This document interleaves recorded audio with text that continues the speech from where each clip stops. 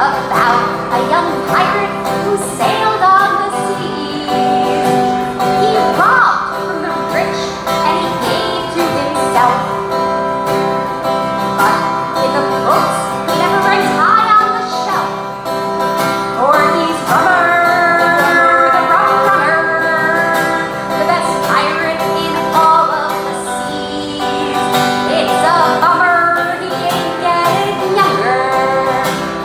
someone was his only